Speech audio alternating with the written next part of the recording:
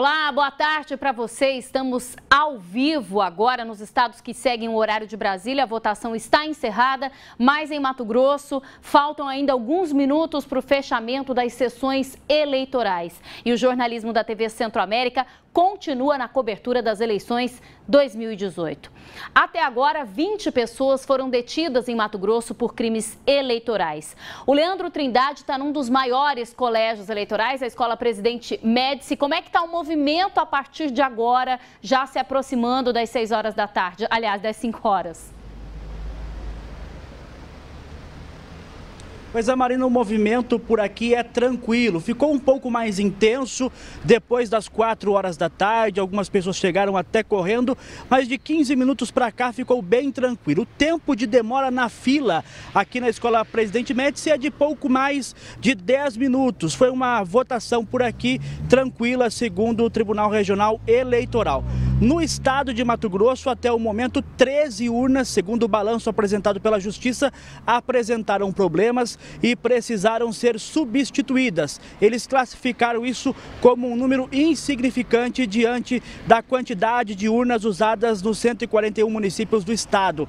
20 pessoas até agora confirmadas foram detidas pela polícia oito por crime de boca de urna, o restante por desobediência. Entre os presos confirmados, três candidatos: uma candidata em Cuiabá, um candidato a deputado em Nova Chavantina e a Justiça Eleitoral confirmou a prisão de um terceiro candidato, mas ainda não divulgou o nome dele e nem em qual cidade ou por qual crime ele acabou detido pelas equipes da Polícia Militar e da Polícia Federal que fazem a força-tarefa desta eleição. Agora aqui no Presidente Médici, Tocou o sinal de 5 horas, o pessoal vai saindo, daqui a pouco, Marina, eles fecham o portão por aqui e a votação estará encerrada.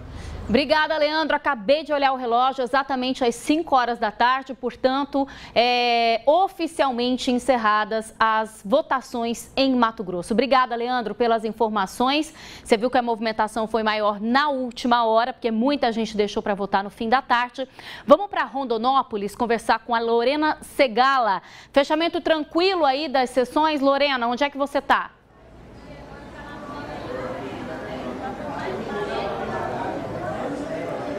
Boa tarde, Marina. Boa tarde a todos. Olha, aqui em Rondonópolis, durante o dia todo foram votações aí tranquilas, né? Nós estamos aqui num dos maiores colégios eleitorais da cidade. Como a gente pode perceber, o movimento ainda é grande. O pessoal ainda está enfrentando um certo tipo de fila. Já são 5 horas, né? Os portões então já fecharam. Quem está aqui dentro da escola vai conseguir votar, mas ninguém mais entra, né? A votação por aqui foi tranquila, não teve nenhum preso por crime eleitoral, apenas vários santinhos em frente as escolas foram, foram jogados, né? a população reclamou bastante disso. Também um movimento tranquilo por aqui até o momento. Marina.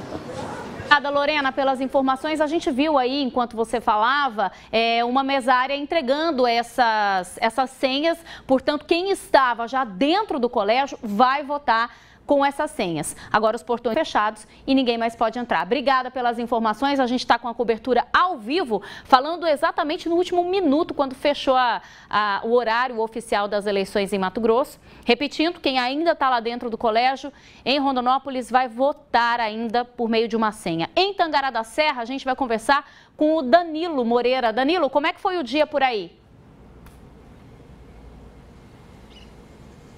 Oi Marina, muito bom dia, muito boa tarde para você, boa tarde a todos que nos acompanham. Por aqui a movimentação foi super tranquila, viu? De acordo com o Tribunal Regional Eleitoral, aqui foram 199 sessões distribuídas em 33 locais de votação. Alguns eleitores disseram ter dificuldades para votar para presidente, mas aí, de acordo com o Tribunal Regional Eleitoral, apenas uma única urna apresentou defeito aqui na cidade e foi trocada imediatamente, aí, sem comprometer o andamento da votação. É, de acordo com o Tribunal Regional eleitoral também. Um outro ponto para se destacar aqui para Tangará da Serra é sobre a limpeza das ruas e avenidas da cidade. Não teve quase nada de santinhos aí jogados pelas ruas e avenidas. Nós procuramos também a polícia militar aqui da cidade e não houve registro de pessoas presas por crimes eleitorais. Marina. Obrigada, Danilo, pelas informações. Lá em Tangará da Serra, mais cedo, a Nayana Bricá acompanhou é, a movimentação dos eleitores com alguma dificuldade, inclusive na hora de escolher os candidatos. Isso se repetiu também em algumas cidades. Olha só. Em Tangará da Serra, o movimento é tranquilo nas sessões eleitorais. A cidade tem 33 locais de votação, mas alguns eleitores reclamam de problemas nas urnas. Eu digitei todos os candidatos e tive o tempo de apertar confirma. Quando eu fui de, é, votei para presidente, digitei o número do presidente. Antes de eu confirmar, a máquina já finalizou meu voto. Não deu tempo de eu confirmar o presidente que eu queria. Segundo a Justiça Eleitoral, cinco casos como este aconteceram aqui em Tangará da Serra. Todos eles foram registrados e serão investigados. Quase 66 mil eleitores devem votar este ano na cidade. Mais de 400 são indígenas e votam nas aldeias Nova Esperança e Rio Verde. Bom, gente, em nota, o Tribunal Regional Eleitoral disse que é falsa a mensagem que circula na internet de que os votos de um dos candidatos a presidente não estão sendo processados. O que acontece é que muitas vezes, segundo o TRE, o eleitor tem uma certa ansiedade em votar mas que a urna tem uma ordem de votação que precisa ser respeitada. Muitas vezes o eleitor quer digitar primeiro o número de presidente e aí acaba votando só na legenda. E mesmo quando ele, é, antes de aparecer a foto do candidato, aperta o botão confirma, os votos estão sim sendo computados, segundo o TRE. Aliás, o que mais tem se notado nessas eleições durante todo o processo eleitoral é o aparecimento das fake news. Por isso, no G1 tem um um, um, uma parte específica só para explicar para o eleitor, esclarecer o que é fato e o que é fake, ou seja, o que é notícia falsa. E uma delas nós recebemos aos montes hoje pelo WhatsApp, certamente você também deve ter recebido aí no seu WhatsApp. É a notícia de que apertando a primeira tecla número 1 um, já apareceria a votação para o candidato Haddad do PT. Aqui, ó, tem inclusive a divulgação do TSE dizendo que é fake, que é mentira essa notícia, que foi um vídeo que foi manipulado. A Justiça Eleitoral disse que é, é falso e que aqui, ó, esse é o vídeo que aparece, você deve ter recebido. E aqui embaixo, gente, tem a explicação completa de um técnico de edição explicando como é que é feita essa montagem em vídeo. Ou seja, ainda tem muita gente que perde tempo produzindo essas fake news, essas notícias falsas. Acesse lá, g1.com.br MT, lá tem tudo sobre as eleições 2018. Daqui a pouquinho a gente volta para lá, tá bom? Para o nosso site.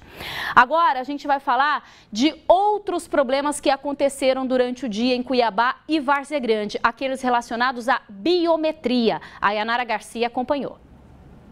Aqui em Cuiabá, em várias sessões eleitorais, como essa no ginásio de esportes Aecim Tocantins, eleitores enfrentaram filas enormes por causa de lentidão em algumas urnas e problemas de identificação biométrica de algumas pessoas, principalmente idosos. Nesses casos, foram digitadas as datas de nascimento dos eleitores e a liberação foi feita com a biometria de mesários e presidentes de sessões. A identificação lá do dedinho, deu certo? Não, não deu. Tava, tava dando problema lá. Aí depois ela mandou eu votar certinho. Tive que passar vários dedos experimentei, e aí tudo bem, aí já foi, já. Atrasa só um pouquinho, forma a fila, mas está assim mesmo. Vai embora, vai que vai, tá ótimo. Em Mato Grosso, menos da metade dos eleitores tem identificação biométrica. E aqui em Cuiabá, as duas formas são aceitas. Outra dificuldade para algumas pessoas foi localizar a sessão. Por causa do rezoneamento, muitos postos foram fechados e os eleitores foram encaminhados para outras localidades. A vez que eu voltei era aqui, agora já não consegui achar mais. Aí eu não estou sabendo onde que está sendo. É. E o número não está batendo? Não. Eu acredito que no segundo turno, né, para rever isso aí, para ver onde é que está ali o, o gargalo, tudo para melhorar, né? Não, é? não dá, né, para demorar tanto tempo assim para votar. Sem dúvida. Bom, gente, vamos aqui agora no nosso G1. Falei que a gente ia voltar daqui a pouquinho. No G1MT tem uma cobertura especial sobre as eleições, g1.com.br/mt.